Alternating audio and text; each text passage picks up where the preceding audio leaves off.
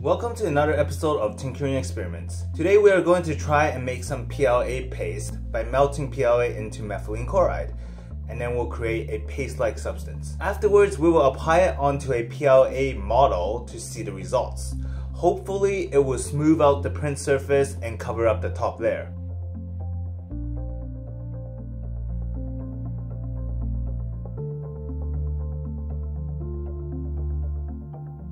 To start the experiment, we first have to obtain some PLA and then some methylene chloride. We're going to venture into unknown territory now, so I have no idea how this will turn out.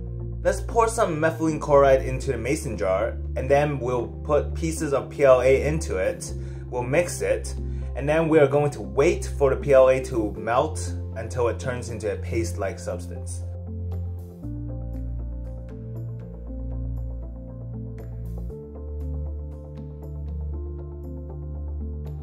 30 minutes later, now that we have the paste, let's apply it to this cube. And then we can find out whether or not it'll smooth the part out. We'll just apply it to one face of this cube.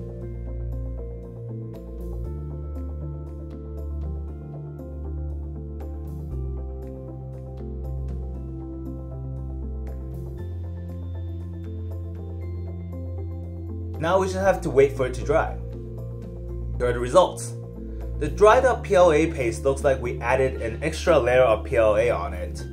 And since I used gray and white filament, I'm guessing that's why it's slightly gray in color. It's a bit rubbery and it didn't do what it's supposed to do, which is to smooth out the surface of the PLA. I thought it would, but all it did was cover the whole surface. Now let's try it on a gray print instead of a yellow print and we'll see whether or not we will get better results.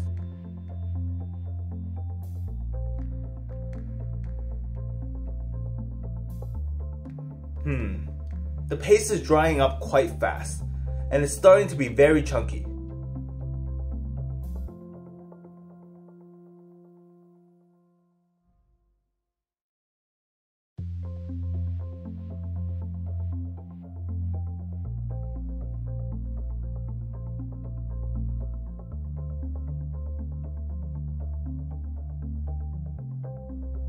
I think it would actually look alright if we were to find a method that would apply the paste evenly and smoothly. Well, there we have it. We tried making and using PLA paste on PLA parts, and it doesn't really work. You'll have to use the same color filament to make your paste if you want it to be the same color as your part, I assume.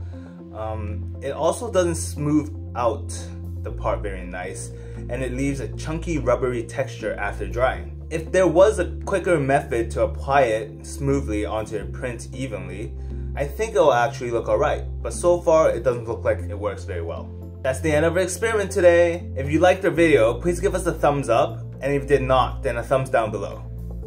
Remember to subscribe and comment on what experience you'd like to see in the future. Thank you for watching. Tinker out.